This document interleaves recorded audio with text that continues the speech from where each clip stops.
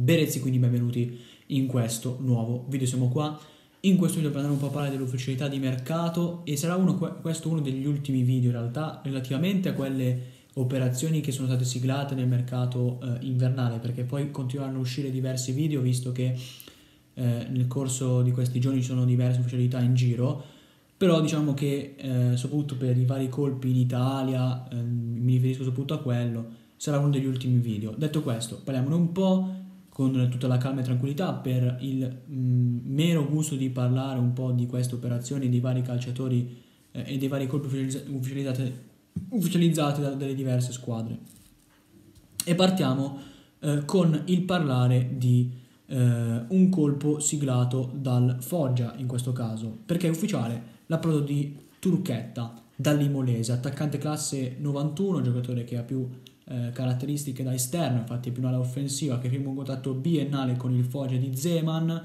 eh, rinforzo intrigante, un Foggia che aveva puntato su altri profili e se ne è parlato fino all'ultimo, eh, anche Cuppone sembrava essere vicino, alla fine è andato al potenza e sta, si sta già dimostrando un ottimo attaccante per la categoria, un Foggia che davanti è una squadra importantissima, Curcio che ha un, una qualità incredibile, ma lo stesso Ferrante che è un finalizzatore eh, importante, adesso è arrivato anche Turchetta che è un esterno che può dare una mano importante, arriva dall'Imolese, esperienza sicuramente eh, è un rinforzo di livello per il Foggia. Detto questo, colpo della Juve perché ufficiale arriva il numero 9, anzi il numero 7 perché ha preso la mano il numero 7. Vlaovic approda infatti alla corte di Mister Allegri, attaccante classe 2000 che firma un contratto quinquennale con la Juventus, arriva per circa 81 1,6 milioni di euro, almeno queste sono le cifre eh, in, in, totale, perché sono 70 milioni di euro in tre rate. Quindi Juve che non pagherà, come poi accade sempre perché queste operazioni sono sempre a rate poi. Eh, non pensate che sono 90 milioni cash domani li danno, sono tutte a rate ovviamente perché poi non c'è nessuna squadra al mondo che possa pagare 90 milioni in un giorno. Mai questo è accaduto, ma accadrà. Ecco, sono, sono a rate, tre rate da 70 milioni, quindi eh, poi suddivise, in, in, vedremo come sono suddivise, 11,6 milioni di euro che sono eh, in realtà corrispondono al contributo di solidarietà che in che cosa consiste sostanzialmente? Consiste e più che altro tiene conto eh, del numero eh, di anni durante i quali un calciatore è stato tesserato ehm, per una società. In questo senso Vlaovic eh, stato tesserato tra eh, Partizan, Belgrado, Belgrado eccetera ehm, per eh, un tot di tempo, dai 12 ai 23 anni e questo ha maturato 11,6 milioni di euro di contributo solidarietà, per cui sostanzialmente l'aiuto doveva pagare 70 milioni di euro in tre rate, più il contributo solidarietà, quindi si arriva a 81,6 e 10 di bonus che fanno riferimento, che ne so, ai gol segnati o alle presenze, poi queste sono un po' eh, le, eh, i vari obiettivi che si, dove, si devono raggiungere quando si parla di bonus. Quindi potenzialmente un'operazione da 90 milioni di euro, che sono tantissimi per la Fiorentina che sicuramente per tanti si può essere eh, indebolita, secondo me assolutamente no, Commisso ha fatto quello che doveva fare, perché eh, Vlaovic a Firenze non ci sarebbe mai rimasto, perché è un giocatore rampa di lancio e a Firenze non ci sarebbe mai rimasto in più, cioè, quelli che dicono Ema eh, Vlaovic doveva rimanere, ma, ma la, la, Fiorentina avrebbe perso, ha fatto, un, ha fatto un capolavoro la Fiorentina, avrebbe perso a zero un attaccante in estate che sarebbe andato via sicuramente perché a Firenze non sarebbe rimasto, perché lui aveva ambizioni, aveva ambizioni, cioè un giocatore importantissimo che attualmente Firenze non la merita perché la Fiorentina gioca per l'Europa League al massimo, quindi eh, Vlaovic non merita questo tipo di palcoscenici per, qui, per questo motivo quindi il, la sua asticella è ancora più alta ed è normale che voglia andare in un, club che giochi altri palcoscenici per cui eh, tra il perdere a zero ed acquistarlo a 90 milioni voi cosa volete scegliere? perdere a zero per averlo sei mesi? poi la Fiorentina ha preso attaccanti come Cabral, Arthur, eh, lo stesso Pionte che sono giocatori che sono funzionali, non sono fortissimi, uno dice ti strappi i capelli, ma sono funzionali al progetto. È un attacco con Nico Gonzalez, Sottil, c'è delle fasce fortissime. Hai preso Saponara che sta facendo bene. È una squadra funzionale, non con nomi stratosferici, ma con giocatori funzionali. E una squadra di calcio va, si compone di questo tipo di. cioè per poter raggiungere obiettivi. Una squadra di calcio deve essere composta non di calciatori con nomi, ma giocatori funzionali che siano forti, perché poi Arthur non è scarso, Piontek non è scarso, lo stanno dimostrando, però l'importante è che siano funzionali, cioè i, i, i fiorentini che dicono commisso out perché ha asciuto Vlaovic a gennaio 90 milioni di euro, a gennaio a 90 milioni di euro potenzialmente, ma di che cosa stiamo parlando? Ha preso Arthur e Piontek che potenzialmente possono fare anche meglio perché sono in coppia, perché possono dare un'alternativa ulteriore, perché è vero che Vlaovic potenzialmente era un fenomeno, ripeto, ma eh, metti caso che fa male le prossime stagioni, il valore di mercato si abbassa, tu l'hai venduto a 90 milioni quando tra qualche mese andava via a zero, ci ha fatto un capolavoro con Misso e Pradè eh, e chi per loro, cioè di cosa stiamo parlando Resti, veramente? Poi vabbè, mh, mm, questo mio pensiero magari sarà sbagliato, sicuramente sarà sbagliato, però comunque,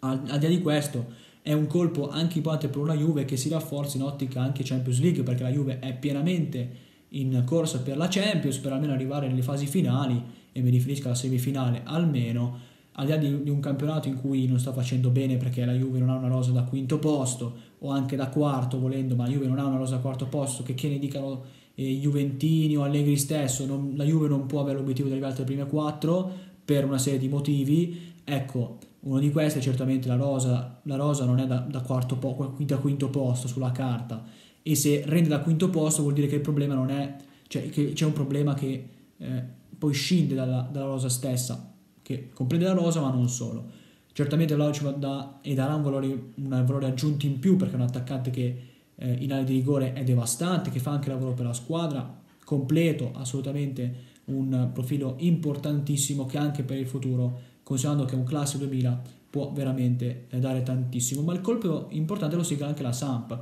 che ha fatto un mercato eh, per eh, il neomister Giampaolo, anche involontariamente perché Giampaolo è arrivato in realtà dopo la fine del mercato, un mercato importante, arriva infatti Sensi. Stiamo parlando di un centrocampista classe 95 che arriva in prestito direttamente dall'Inter prestito secco, ecco l'unica pecca di questa operazione è il fatto che non ci sia un diritto di riscatto, ma è un giocatore che ancora è nel periodo della carriera. Se non fosse per gli infortuni, non dico che sarebbe come quelli che dicono tecnicamente paragonato a giocatori di stratosferico livello, tecnicamente è forte Sensi, ma non è il più forte del, del mondo, assolutamente. Certamente però gli infortuni l'hanno limitato molto. Alla Samp eh, avrà un'occasione di rilancio,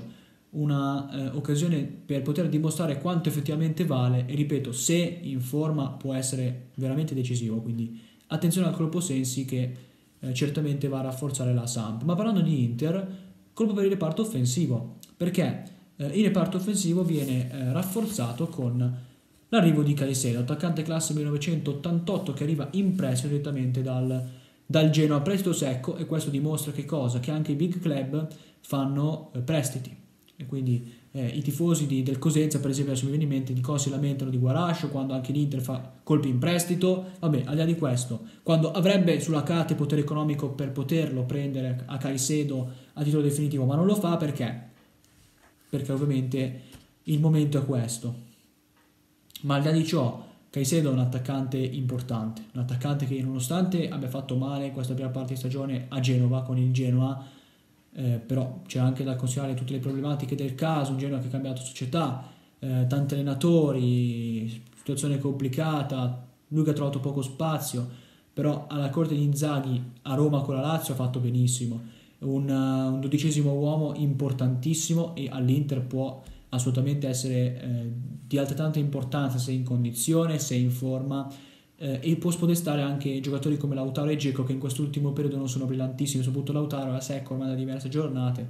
e quindi chissà che, che Caicedo non possa dare eh, un, una mano proprio in questo senso per rimpiazzare un, almeno momentaneamente un Lautaro non in forma. Rimanendo a parlare un po' di attaccanti, ci spostiamo in Serie B perché la Cremonese continua a farmi godere. Altro colpo di altissimo livello per la categoria, firma infatti Gondò, attaccante classe 96 che arriva a titolo definitivo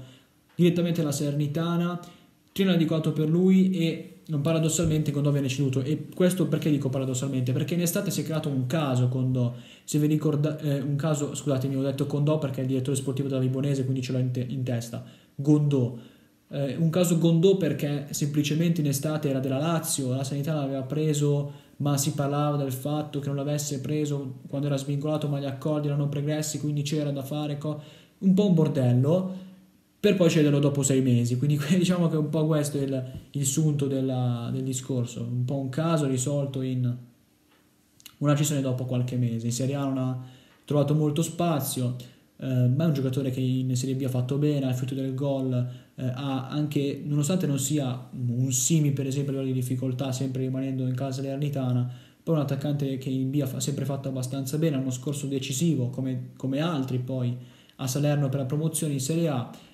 e a Cremona per me può fare molto bene. Davanti poi eh, troverà Ciofani ma un, un, attacco comunque di livello eh, che comprende anche giocatori eh, sulle fasce come Zanimacchia è arrivato Rafia come buon aiuto eh, hanno lo stesso poi eh, Fagioli per il reparto tre quarti che comunque è un centrocampista ma che più gioca più comunque in di rigore. Valzania che è un ottimo centrocampista. C'è una squadra sugli esterni Sernicola eh, Valeri, c'è una squadra veramente mm, piazzata benissimo, la Cremonese a me piace moltissimo, veramente tantissimo e ennesimo eh, colpo di mercato Gondò che dimostra quanto la squadra si sia rafforzata con Peck che è un ottimo allenatore può, anco, può essere mh, mm, coinvolta fino all'ultimo nella lotta per la promozione in Serie A. Detto questo, ci spostiamo in Serie C, quindi scendiamo ancora di categoria per parlare di Montevarchi. È infatti ufficiale l'arrivo di Nannelli, esterno classe 2000 che approda eh, alla Montevarchi direttamente dal Cesena, eh, giocatore molto intrigante, classe 2000, che rafforza così il reparto esterni, mh, mm, giocatore comunque di fascia che può eh, giocare sia come esterno alto che come esterno basso, comunque fa un po' tutta la fascia, e rafforza un Montevarchi che è in piena lotta nel girone B per evitare poi play out e cercare di eh, centrare la salvezza da neopromossa. Non sarà semplice perché il girone B è molto molto complicato, però il Montevarchi è in lotta e eh, il colpo Nannelli è intrigante, un giocatore cresciuto nel settore giovanile della Fiorentina e che arriva, ripeto, dal Cesena. Detto questo, spostandoci invece a parlare un po' di calciomercato internazionale, colpo del Bordeaux. È infatti ufficiale l'approdo di Guy Lavogui per il centrocampo, centrocampista classe 90, che arriva direttamente dal Forsburg in prestito con obbligo di riscatto, cifre non annunciate però c'è un obbligo di riscatto, ciò vuol dire che in estate dovrà essere eh, obbligatoriamente riscattato, un centrocampista di grande esperienza che in carriera ha giocato anche all'Atletico Madrid, quindi ha giocato anche in Spagna, oltre che in Germania al Wolfsburg, la, la squadra dalla quale arriva, un Bordeaux che ha visto il cambio in panchina, Petkovic esonerato, nuovo allenatore, tanti cambiamenti e un, una squadra che sta facendo comunque molta fatica perché si trova nei bassi fondi del campionato di Ligue 1 e dovrà fare di tutto per evitare la eh, retrocessione, centrocampista di esperienza che questa potrà certamente mettere al servizio della squadra, quindi rinforzo intrigante. Rimanendo in Francia, ma in questo caso sull'asse Francia-Inghilterra, è ufficiale Bruno Guimaraes approda al Newcastle, giocatore attenzionato anche dalla Juventus, a diverse squadre eh, di Serie A, centrocampista classe 97 che ha ottime qualità, che tra l'altro firma un contratto quinquennale con il Newcastle del fondo PIF eh, e arriva per circa 42,1 42,1 milioni di euro, quindi più di 40 milioni di euro nel eh, prezzo di, eh, di, acquisizione. Per un centrocampista di ottime qualità, a Leone ha fatto molto bene, ha dimostrato di avere delle qualità importanti, ehm, un giocatore che ha una tecnica eh, elevata e che certamente al Newcastle può fare bene alla corte di OU, eh, con il quale Newcastle eh, sta facendo comunque bene in quest'ultimo periodo, quindi certamente rinforzo ulteriormente importante Newcastle che ha preso anche Trippier, ha fatto colpi di mercato funzionali nonostante nomi importanti, eh, ma non eh, i Vlaovic, i Messi di cui si parlava quando è arrivato il fondo PIF, irrealistici al massimo. Posso pensare che arriverà un giocatore toppissimo tra qualche anno, ma il Newcastle che adesso lotta per evitare la retrocessione prende Vlaovic, ma quando mai? Eh, magari tra due anni, due o tre anni, quando Newcastle sarà una realtà eh, della, che stazionerà sempre eh, in zona Europa in Premier, allora mi immagino che arrivi un, un Vlaovic per dire, ma adesso che lotta per evitare la retrocessione arriva Vlaovic, vabbè, Guimaraes comunque c'è una pista importante che eh, certamente potrà dare una mano, una mano ad una squadra che nei prossimi anni sembra essere destinata, considerando la società che le sta dietro, a migliorare sempre di più. Detto questo, colpo importante però che viene siglato anche dal Liverpool perché arriva Luis Diaz direttamente dal Porto, ha la classe 97 che firma un contratto eh, fino al 2027, quindi di ben 6 anni, quindi a lungo termine, e arriva per circa 45 milioni di euro, quindi leggermente di più rispetto a Bruno Guimaraes, anche se in realtà ha dimostrato anche in ambito europeo di più rispetto a, Bruno Guimaraes perché Luis Diaz ha fatto molto bene con il Porto in Champions, ha eliminato praticamente da solo il Liverpool e scusatemi il Milan, segnando un gol a ritorno, ha giocato proprio nel girone eh, del... no, no, non è vero, sto scherzando. Mi sono eh, un attimo... No, non è vero, ha giocato con il girone del... quindi Liverpool che l'ho potuto attenzionare dal, eh, in prima persona perché il Porto era nel girone di Champions del Milan, dell'Atletico e del Liverpool, quindi effettivamente ha avuto l'opportunità Liverpool di eh, vederlo in prima persona per ben due volte, giocatore di estrema qualità, eh, un ottimo esterno che sta già facendo bene perché ha segnato se non mi sbaglio due gol, due o tre gol con il Liverpool in campionato e quindi è un profilo importante che ha esperienza europea, ha caratura internazionale e per rafforzare un reparto che ci ha messo benissimo con i vari Salah, Mané, Diogo Jota, eh, certamente è un colpo di, di assoluto livello. Detto questo, per quanto riguarda invece la Serie A, colpo del Torino, perché ufficiale arriva Samuele Ricci direttamente dall'Empoli, centrocampista classe 2001 che eh, arriva in prestito con obbligo di riscatto. Allora, cifre che sono è un prestito oneroso innanzitutto, quindi ciò vuol dire che eh, il Torino ha già pagato 2 milioni di euro all'Empoli, eh, poiché il prestito oneroso vuol dire che eh, paghi subito una cifra relativamente bassa e poi c'è un obbligo, un diritto che dovrai esercitare ma che lo eserciterai però tra qualche mese. In tal senso l'obbligo è di circa 8,5 milioni di euro, quindi in totale sono 10 milioni e mezzo eh, l'operazione Ricci Torino. Eh, operazione importante perché è un giocatore di ottima prospettiva, eh, ri, ehm, Torino che lo strappa alla concorrenza perché poi c'erano diversi club eh, anche di, eh, più, eh, di caratura più importante in Serie A che lo attenzionavano, anche all'estero in realtà piaceva, mi ricordo il Leicester, comunque diverse squadre l'hanno attenzionato e il Torino non riesce a strappare la concorrenza. Classe 2001, ottima prospettiva nel giro dell'Under 21, ma tra poco anche della nazionale maggiore. Ed è un giocatore di ottime qualità, un centrocampista che ad Empoli ha fatto molto bene, e sicuramente farà sentire la sua mancanza, anche se Aslani all'Empoli di Andreazzoli sta facendo altrettanto bene, però al di là di questo giocatore eh, di, eh, di livello che va comunque a eh, rafforzare un reparto giovane e pronto perché a centrocampo il Torino ha Mandragora che è un ottimo, gio- che un ottimo giovane in realtà non tanto perché anagraficamente parlando non è più giovanissimo essendo un classe 97 però è ancora relativamente giovane. C'è Pobega che è un altro giovane di prospettiva adesso c'è anche Ricci che è di proprietà lo, anzi non è di proprietà a livello attuale ma lo sarà tra qualche mese quindi eh, diciamo che sono un'operazione quella di Ricci Torino devo dire di di livello e secondo me può dare una mano importante alla squadra, assolutamente. Quindi più che, eh, più che positiva secondo me per un Torino che al di là delle critiche ha fatto un mercato per Juric eh, importante, assolutamente importante. Detto questo, attenzione perché il Milan rimpiazza Pellegri, Pellegri che si è proprio accasato al Torino eh, dopo aver sceso il prestito con il Milan,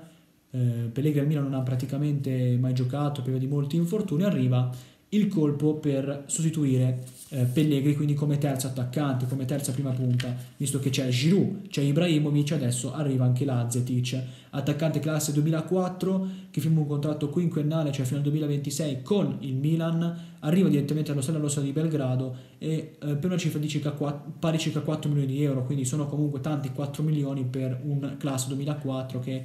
ha dimostrato relativamente poco, nonostante stia facendo bene da diverso tempo lo Stella Rossa, eh, con una squadra importante, però è un giocatore che sicuramente è stato attenzionato per bene, gli scout hanno fatto un lavoro importante in questo senso, però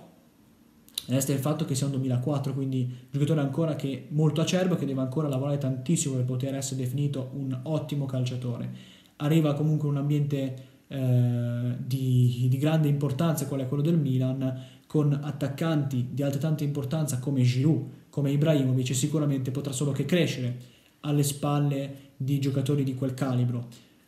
Dice, ripeto, cifre comunque abbastanza, abbastanza elevate, però eh, in prospettiva un ottimo colpo e va, ripeto, a rafforzare il Milan soprattutto in prospettiva e per rimpiazzare Pellegri che eh, ha ormai lasciato la squadra. Detto questo, colpo che viene siglato anche dal Feyenoord per rafforzare il centrocampo. Feyenoord che a me piace veramente tanto, giocatori molto molto intriganti, Sinisterra, Jahan Till, c'è una squadra molto molto intrigante con diversi giocatori che a me piacciono, devo dire. e rafforza ulteriormente il centrocampo con un calciatore di categoria. È infatti ufficiale l'arrivo di Jimi Hendrix, no non è Jimi Hendrix ovviamente, è eh, Jorrit Hendrix, centrocampista classe 95, che approda al Feyenoord in prestito biennale con diritto di riscatto, quindi c'è un diritto di riscatto, un giocatore che, ehm, che in realtà mi sembra torni al, al Feyenoord perché Hendrix No, in realtà è ex PSV Eindhoven, giocò qualche stagione fa al PSV Eindhoven nelle divisie, poi in questi ultimi anni ha approdato in Russia allo Spartak di Mosca, squadra che lo cede però al Feyenoord, quindi ritorna dove fece molto bene in Olanda, Hendrix, centrocampista di qualità, nel primo della carriera, che per i prossimi due anni, comunque un anno e mezzo, rimarrà in Olanda e poi eventualmente potrebbe essere riscattato visto che c'è un diritto di riscatto, quindi potrebbe poi il Feyenoord decidere di esercitare questo diritto. Vedremo se poi effettivamente lo farà oppure no. Resta il fatto che è un ennesimo rinforzo per una squadra costruita bene, con giocatori molto molto intriganti e eh, rinforzo per il centrocampo di livello. Detto questo, proseguiamo un po' parlando di Serie C. Infatti, a questo punto c'è da parlare di un colpo che viene siglato da parte della Juve Stabia, è di fatto ufficiale l'approdo di De Silvestro eh, alla corte di Mister Sottili, che in realtà sembrerebbe essere in bilico, visto che eh, negli ultimi giorni, nelle ultime giornate non sta facendo bene la Juve Stabia, però arriva De Silvestro per il reparto offensivo alla classe 93 che approda in prestito eh, direttamente eh, dal Grosseto, credo, adesso ve lo vado anche a dire con certezza, certamente ha giocato in questa prima parte di stagione al Grosseto, dove non ha convinto particolarmente, anche per vedi un po' delle vicissitudini che eh, hanno contraddistinto la formazione eh, toscana, un Grosseto che è ultimo in classifica, sta facendo male in tutte le sue componenti, non solamente De Silvestro, ma è un giocatore eh, brevilineo, eh, con qualità, che sa saltare l'uomo, è un buon, eh, buon profilo per quanto riguarda i reparto esterni e approda così nel girone C alla corte di Mister Sottili e una Juve Stabia che rafforza così il reparto esterni. Ripeto, operazione in prestito, prestito secco e arriva direttamente dal Grosseto, sì, quindi tornerà poi in Toscana in estate. Detto questo, colpo della, della CR Messina. Infatti, per quanto concerne le porte esterne, arriva Statella, esterno classe 1988, che firma un contratto annuale con la CR Messina. Arriva direttamente dal Lavello, eh, infatti ha militato in questa prima parte di stagione del Giorni H di Serie D con il Lavello, eh, che tra l'altro era la squadra di, eh, la squadra di eh, un ex mister della Vibonese, se non mi ricordo male adesso non vorrei sbagliarmi, però comunque un allenatore che io conoscevo, però vabbè, al di là di questo, adesso non mi viene in mente il nome, però al di là di questo, ehm, resta il fatto che Satella è un, un, ottimo calciatore per la categoria, ha, avuto esperienze negli ultimi anni a Catanzaro dove ha fatto discretamente, a Vibo Valencia dove l'anno scorso fece discretamente, nulla di particolare, anche se qualcosa di più da parte, da parte sua con la sua esperienza mi aspettavo, Adesso però dalla CR Messina dove eh, certamente può dare una mano importante alla squadra che è in piena lotta per non retrocedere ma che negli ultimi giorni, soprattutto dopo la vittoria a Bari, sta facendo molto bene. È normale che poi vincere a Bari ti, in, ti permette di installare, nel, di instaurare nella squadra una certa fiducia. Adesso arriva Statella che eh, rafforza le parti esterne, un giocatore di tutta fascia ma che ha principalmente caratteristiche e propensione offensiva, quindi è più un esterno, eh, un esterno dalla metacampo in su piuttosto che il contrario, ma è un giocatore che vanta tantissime esperienze in categoria e certamente può, può e rafforzerà il reparto offensivo della CR Messina. Detto questo, ultime due eh, notizie, questo eh, in casa Bari, alla Corte di Mignani infatti arriva Galano direttamente dal Pescara, alla classe 91 che approda eh, ripeto in Puglia in prestito con obbligo di riscatto, quindi dovrà essere riscattato da parte del Bari a, ehm, a fine anno nel momento in cui si verificano determinate condizioni, quindi è un obbligo condizionato al raggiungimento di certi obiettivi. Non so onestamente quali sono questi obiettivi, visto che non ho il contratto sotto mano, però penso io siano la promozione, per esempio, oppure tot presenze. Vedremo un po', ma un giocatore di qualità incredibile, grandissima esperienza, che però Pescara quest'anno con Auteri non ha fatto bene, ma evidentemente ci sono stati dei problemi con eh, il mister, però è un giocatore che, mh, discuta, che tecnicamente parlando non si discute e che torna così eh, nella sua madrepatria, se vogliamo, così, se vogliamo dire così. Eh, a detta sua c'erano anche diversi club di B interessati al giocatore, ma lui ha eh, rifiutato tutto per tornare a Bari. può fare molto bene e con giocatori come Del Rico, come Kedira in quel reparto, anche se Kedira è più un trequartista, però eh, ragazzi, il Bar è una squadra fortissima, completa tutti i reparti e certamente la candidata eh, favorita per eh, l'approdo in Serie B, almeno per quanto riguarda i giorni C. Detto questo, ultima notizia, ma non per importanza, è quella relativa a Moro attaccante che sta infrangendo tutti i record, sta veramente facendo molto molto bene al Catania, eh, classe 2001 che approda al Sassuolo, quindi eh, in realtà è un'operazione che, eh, un triangolare se vogliamo, perché c'è di mezzo anche il Padova, visto che è arrivato in Sicilia alla corte di Baldini eh, in prestito dal Padova, ha fatto numeri incredibili, rigorista, ma un attaccante di, di, di, di rigore che segna con grande continuità e un po' in tutti i modi, di testa, di piede, eh, su rigore, giocatore importante assolutamente per, ehm, per, il futuro poi anche dell'Italia, della nazionale italiana, essendo un classe 2001. Eh, ancora però ha trovato eh, poco spazio in Under 21 perché è esploso da poco e quindi troverà certamente più spazio nel, nel prossimo futuro, però eh, è tornato al Padova che lo gira al, eh, al Sassuolo a titolo definitivo. Infatti approda eh, al Sassuolo firmando un contratto quinquennale, quindi fino al 2026, per 4 milioni di euro. Quindi il Padova si porta a casa 4 milioni, che sono tantissimi eh, per una società di Serie C, che mette a posto praticamente i conti. Non li reinvestirà eh, nel, nel, breve, anche perché Mora è stato ufficializzato negli ultimi giorni di mercato, quindi non investirà subito, però sono certamente tantissimi 4 milioni di euro per un attaccante che, sa, che ha fatto più di 20 gol, perché adesso se non mi, se non mi sbaglio è a 22 gol realizzati, comunque tantissimi, ma che ha fatto bene 6 mesi, quindi deve confermarsi nei prossimi anni, questo poco ma sicuro. Però il Sassuolo si dimostra ancora una volta attivissimo nel, nel, mercato, de, nel mercato comunque italiano perché ha giocatori del calibro di Frattesi, di Scamaca, di Raspadori, di Berardi, adesso hanno preso anche Moro, tutti profili eh, italiani eh, in prospettive importanti, si conferma una società da prendere come esempio, nonostante non abbia una tifoseria eh, numerosa, però per il fatto che è una squadra importante. E Moro secondo me può essere una risorsa eh, in- incredibile se soprattutto a livello mentale è bravo a-, a mantenere le pressioni nei prossimi anni. Può fare bene perché ha le qualità per poter fare bene anche in Serie A. Non l'anno prossimo perché l'anno prossimo deve giocare in B eh, perché deve accumulare esperienza deve fare ancora gavetta. Però ehm, se con la testa c'è, Moro può fare molto molto bene in futuro. Adesso, i prossimi sei mesi, tornerà a Catania, quindi eh, l'attaccante classe 2001 viene girato in prestito da parte del Sassuolo al Catania e quindi finirà la stagione lì dove è iniziata, come giusto che sia, perché eh, non era giusto che lasciasse, lasciasse Catania, anche lui evidentemente ha voluto e ha optato uh, per, uh, per, rimanere in Sicilia nonostante poi le problematiche societarie che affliggono il Catania ormai da mesi, ma questo è sotto gli occhi di tutti, Moro rimane a Catania dove ha trovato terreno fertile per poter crescere e dove certamente vorrà eh, chiudere la stagione al meglio. E chissà che non possa centrare anche le 30 marcature che sarebbero un record, comunque un, eh, numeri veramente importanti per lui. Ma detto questo mi fermo. Ci vediamo con un prossimo video. Ciao ragazzi.